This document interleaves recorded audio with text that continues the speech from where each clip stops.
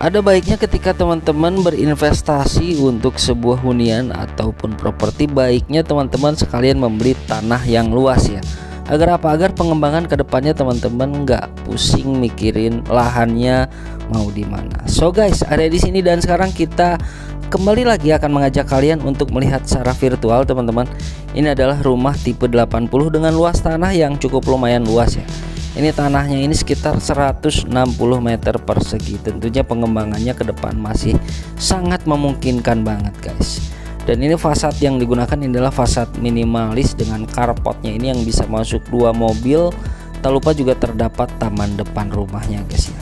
Walaupun modelnya ini agak sedikit jadul ya namun kondisi rumahnya ini masih sangat terawat dan terjaga guys Nuansa fasadnya ini didominasi warna abu untuk memberikan kesan minimalis ya teman-teman. Di depan sini juga terdapat lubang speed tank seperti ini ya.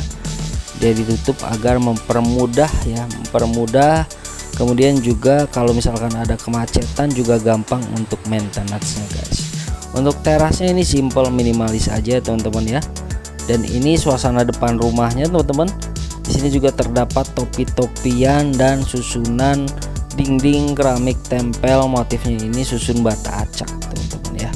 Untuk kusen-kusen yang digunakan di sini masih menggunakan kusen kayu nih teman-teman. Kayu yang digunakan adalah kayu camper oven kemudian finishingnya dicat litur. Dan di dalamnya guys ini waduh ini konsepnya open space ya. Artinya tanpa sekat teman-teman bisa sekat sendiri. Nantinya untuk melakukan partisi apabila kalian memang suka bangunan yang isinya ada partisinya guys dan di sini tuh di dalam sini terdapat dua kamar tidur. Ya kemudian terdapat satu kamar mandi plus satu kamar mandi di dalam si kamar tidur utama. Kita intip dulu untuk kamar tidur anak teman-teman.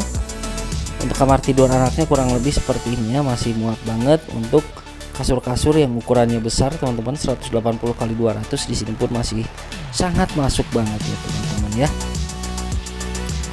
Kemudian lanjut keluar ya di sini terdapat satu kamar mandi. Mas ini pintunya ke mana kok belum dipasang? Oke okay, guys.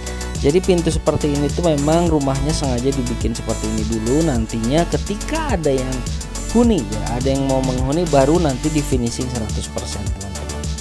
Dan ini adalah si tampilan kamar tidur utamanya guys. Ini adalah jendela kaca hidup dan kaca mati yang kita lihat dari depan tadi ya. Ini sangat-sangat luas dan cukup nyaman banget. Karena apa? Karena kamar mandinya di dalam. Artinya aktivitas untuk orang tua ya untuk adegan-adegan dewasa seperti itu itu masih sangat memungkinkan sekali guys. Oke guys. Ya untuk lewat ruangannya kurang lebih seperti ini ya. Dua kamar tidur satu kamar mandi satu area living yang cukup luas. Kemudian kita langsung lihat kembali ke area teras belakang ya teman-teman.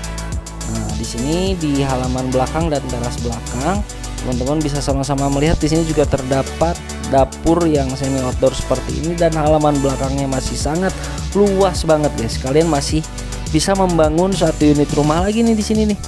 Ya kan di depan sini juga kita sama-sama melihat terdapat menara air juga. Nantinya kalian bisa simpan toren airnya di atas dak-dakan meja dapurnya atau area dapurnya guys ya. Atau kalau kalian pun misalkan pengen bikin kolam renang juga masih sangat nyaman banget untuk di sini. Ya dan untuk dapur semi outdoor seperti ini tuh kalian nggak akan pusing kalau kalian mikirin asap atau bau gitu kan. Itu bisa langsung kebuang keluar teman-teman. Jadi teman-teman nggak perlu cooker hood tambahan ya.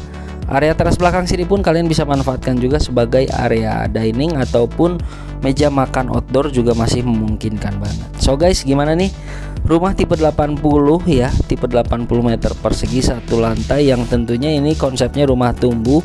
Artinya masih memungkinkan banget untuk kalian bisa explore lagi ke depannya guys.